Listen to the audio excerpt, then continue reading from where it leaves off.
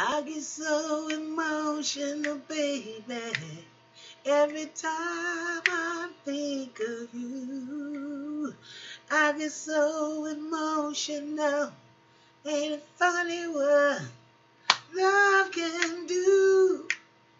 I get so emotional.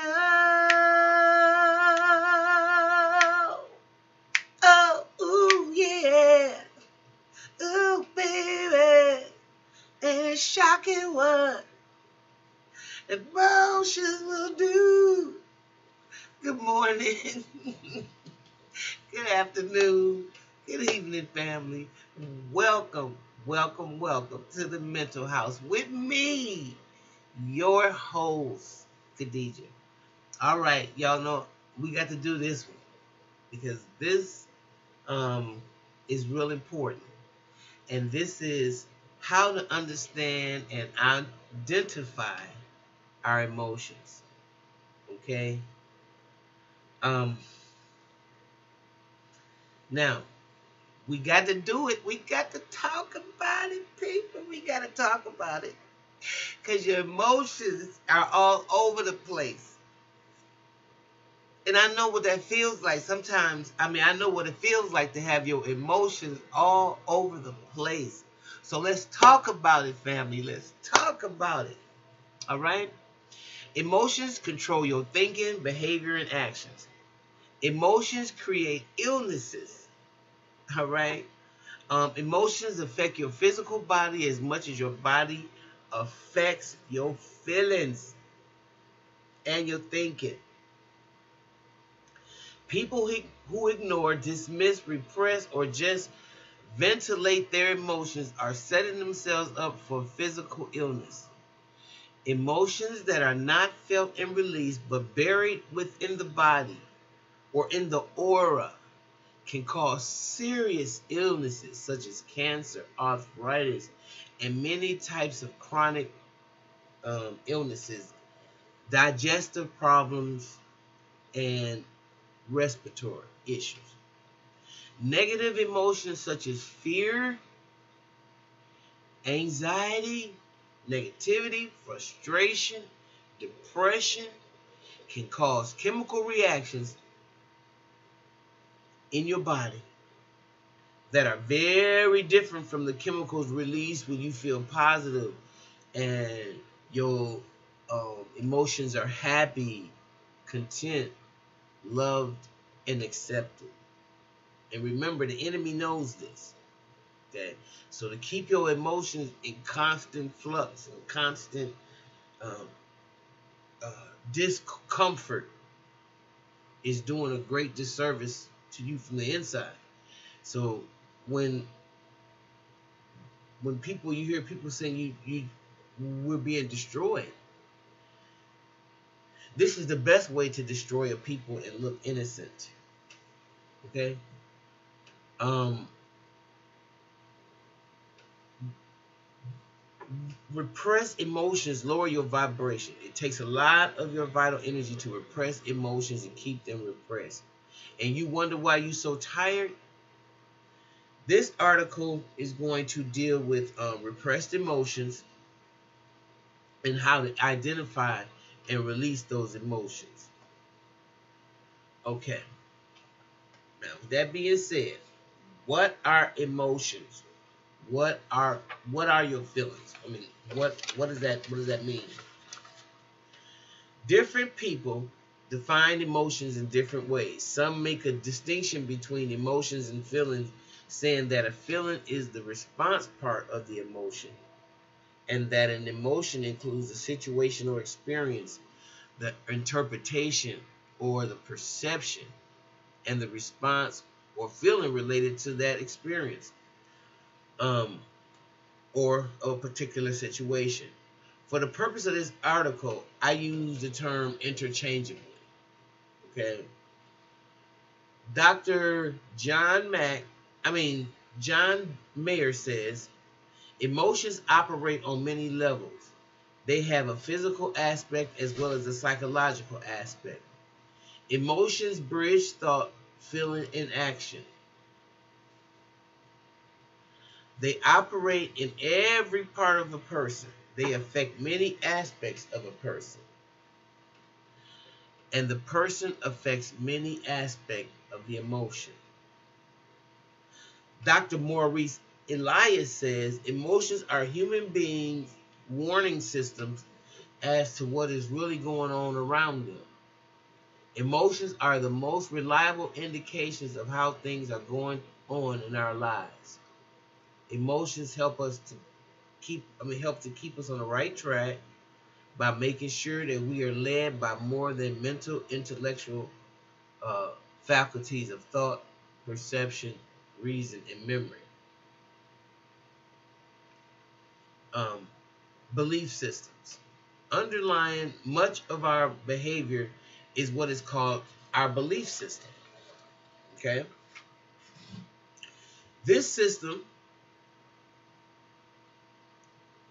within us, it filters what we see, what we hear, it's affecting how we behave in our daily lives, people. Um, there are many other elements that affect our lives as well, including past lives and the core issues we come into this life for um, and the resolution. But our belief systems in this life have a major effect on what we do and what we think. Your belief system affects for your perception, how you interpret what you see, hear, and feel. Example, a person raised by an angry man or woman will view people in the future with beliefs that anger is bad or that is something to fear. Another example would be someone who is quite intelligent but who has never been encouraged or honored for their intelligence. This person might believe that they are stupid. Men raised in conservative societies might have the belief that women who work outside of the home are not as good as those who do not work outside of the home. It takes a lot of work and um, to look at yourself and identify the beliefs that are affecting your life in a negative and an abu- and in an abusive manner. However, knowing your beliefs will give you a sound basis for an emotional freedom. Not the beliefs that were perpetuated upon you or that was presented to you, but how you authentically feel. Um, I do believe that it's wise to deal with the belief systems before dealing with the identification and release of emotions. First things first. Um, see, yeah, first things first. The only person who can change what you feel is you. The only person who can change what you feel is you. A new relationship, a new house, a new car, a new job, these things can moment, momentarily distract you from your feelings, but no other person, no other place, no material possession, no activity can remove, release, or change how you feel. How often do you hear people say things like, when I have enough money, I, I won't be afraid anymore? Uh, only to find there was there never seems to be enough money to stop being afraid. Or um, when I'm in a secure relationship, I won't feel lonely anymore. And finding that they are still lonely regardless of their relationship. We need to understand that um, we take our feelings with us wherever we go. A new dress, a new house, a new suit, a new job. None of those things will change how we feel. Our feelings will remain within us until we release them. And emotions are not the only cause of our illnesses emotions are not the um um they're just not. They're just not the only cause. Little babies and young children get ill, and not always because there there are emotional issues. There are many causes of illness, including um, including emotions, but they are not the sole issue of your illness. The causes of illnesses today are quite different from the issues causing illnesses 20 or 30 years ago. We are living in a world filled with chemical, metal, and atomic poisons, radiations, pollution, and pesticides in our food. We are bombarded with all types of electricity. These energies affect the physical, mental, intellectual, and energetic field and emotional health of people. As we travel more, moving with ease from country to country, different types of infection causing elements and are spreading around the world more easily. Infections of parasites, worms, viruses, and different types of infections, bacteria, are many types um, and many types are 20 times greater than they were 20 years ago. Our water supplies are filled with chemicals and metals. Let me take a look at Flint. The benefits of antibiotics have also brought with them the difficulty of the candida fungus overgrowth and other physical and emotional difficulties. The causes of illness today are totally different.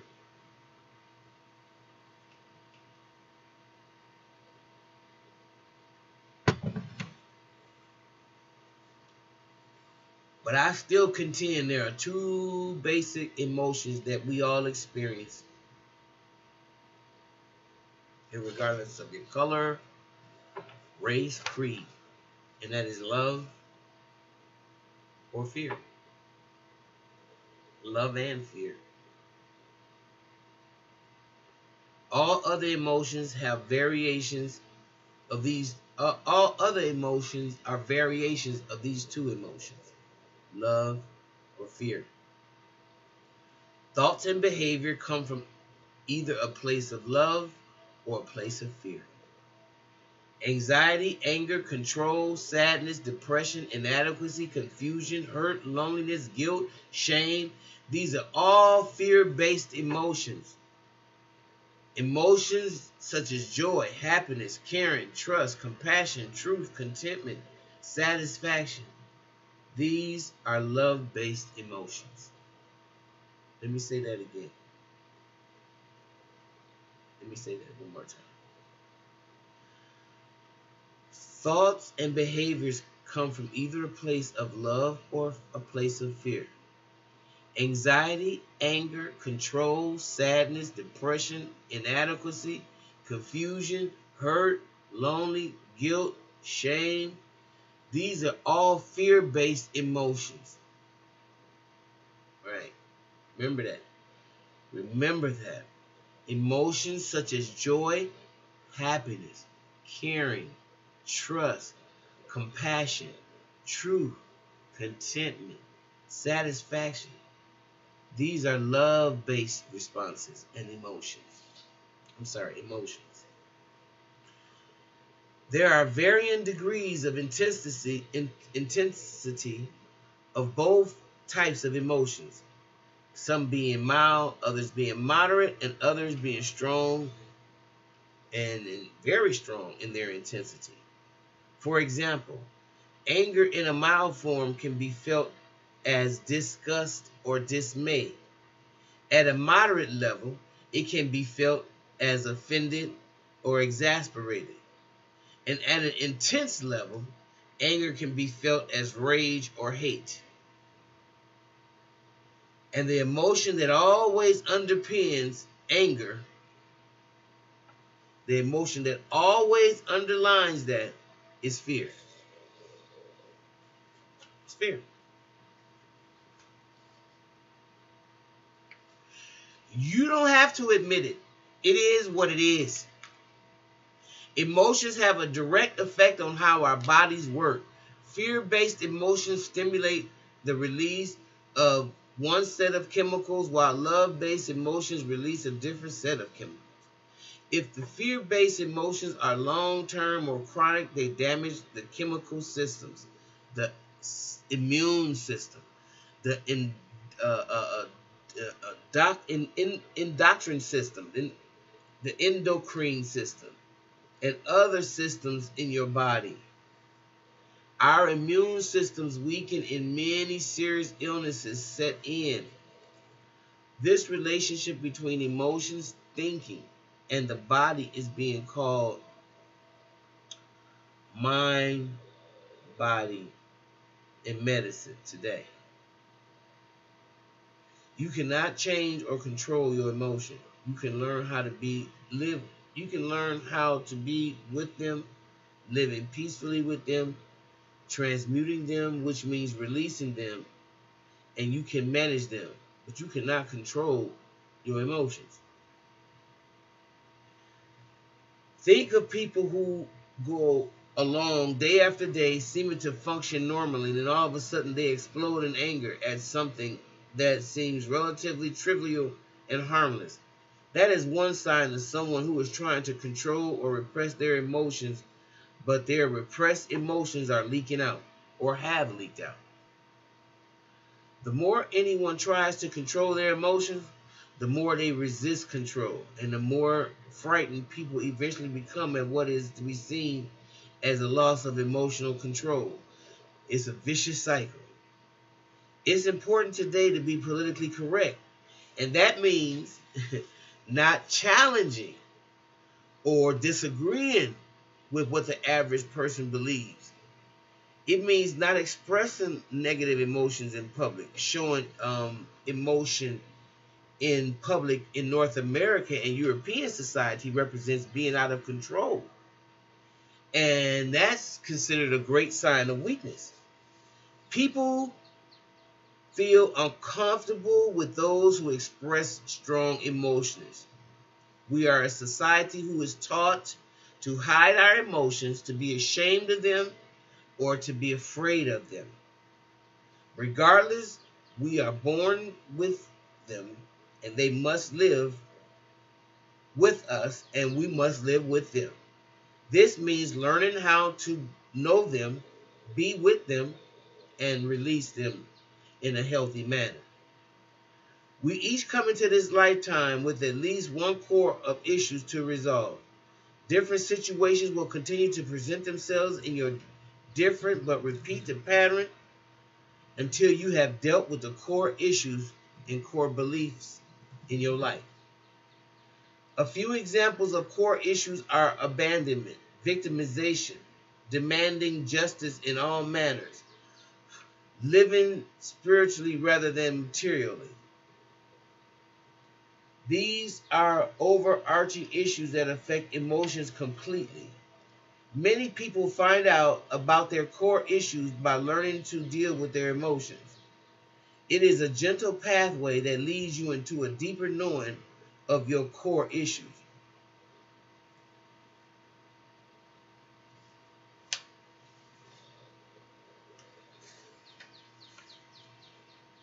Emotion emotional abuse is a form of violence in a relationship.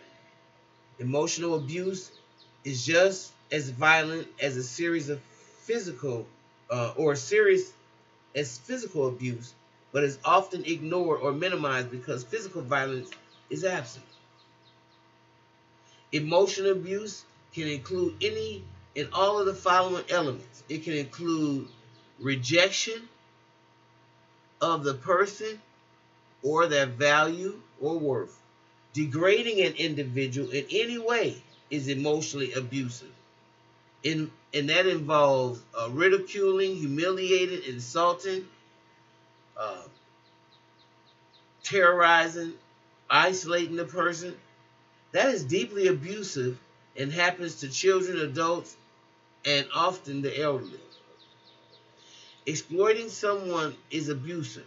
Denying emotional responses to another is deeply abusive. The silent treatment is a cruel way of controlling people and situations. Where there is control, there is no love, only fear. If you are living in a situation that is emotionally abusive, please seek help from either a professional or one of the many helpful organizations present in most communities. You need help to sort out your issues. Emotions stemming from emotional abuse are deep and complex, requiring ongoing help from those trained to deal with emotional abuse.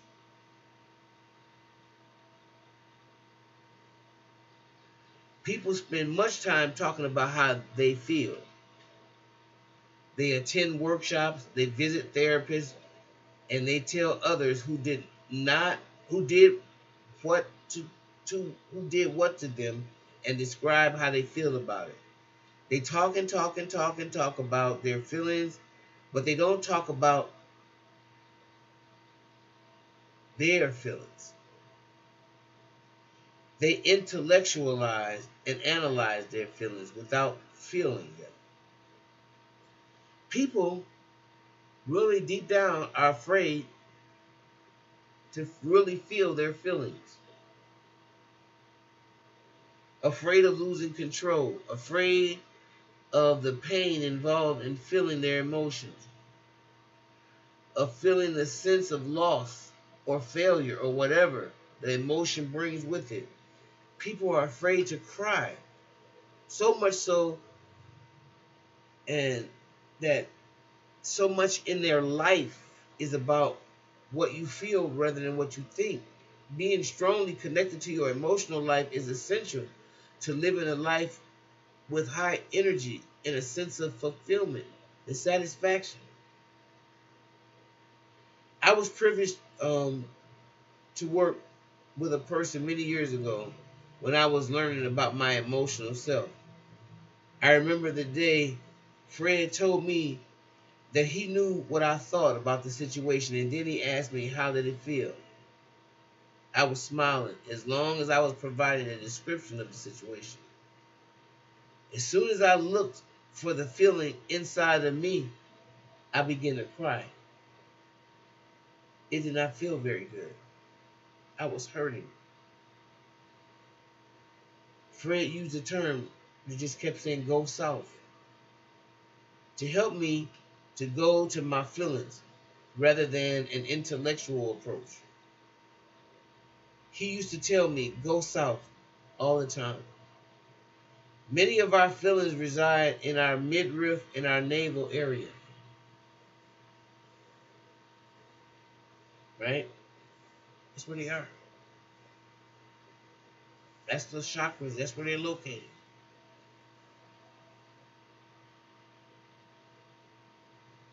Today, I will often tell myself, go south. Go south. So when I tell myself that, I know that I need to get in touch with my feelings. that's just the first part that I want to talk about, and that again, that's that's like how to understand and identify your emotions. You know, but I, I want to also talk about how we repress our emotions. But I can do that in a later later video. But right now, I just want you to soak in on how to understand and identify your emotions. Go down to that pit of your belly, and if it hurts you, release it. Especially for, you know, I just hate that the conditioning that we all have. Because that's what's messed up. Our conditioning. Especially those of us who are great, great, great granddaughters and sons of slaves. sometimes we got to cry to ourselves. You got to get in touch with that emotion. And it's okay. It's okay. Because the anger is going to kill us. And the repression of it is going to kill us. All right. All righty. Let me going because this video lasted a little bit longer than I expected. But I'll be back a little later, you guys. And hopefully we can do another video um, uh, and talking about how we re repress those emotions, okay? All right. like what you hear, please like, subscribe, and hit the little button so if I do another video, you can be notified. See you next time in the mental house. Bye-bye.